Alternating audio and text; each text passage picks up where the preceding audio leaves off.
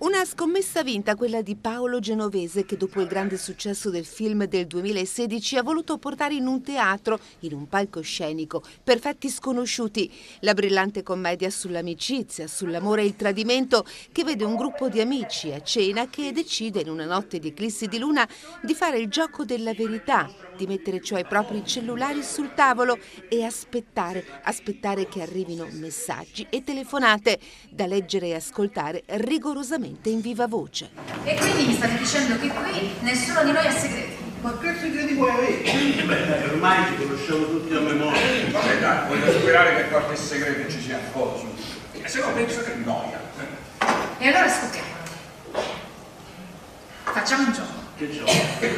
Mettiamo qui tutti i nostri cellulari e, e per tutta la durata della cena, messaggi, whatsapp, telefonate, quello che arriva arriva. Leggiamo e ascoltiamo tutti insieme.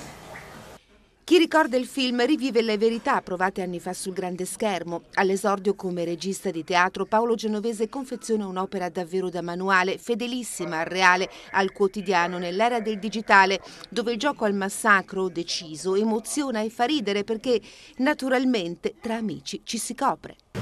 Mi manda una fotina. La fotina!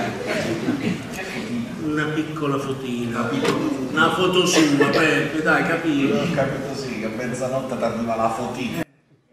E così i segreti più profondi, più scomodi, sono alla mercé di amici di una vita che si scoprono perfetti sconosciuti quella sera, uomini e donne che hanno una vita pubblica, una privata e una segreta, tradita quest'ultima dai telefonini che si trasformano in aggeggi infernali. Alla fine applausi tanti e sinceri per il cast tutto.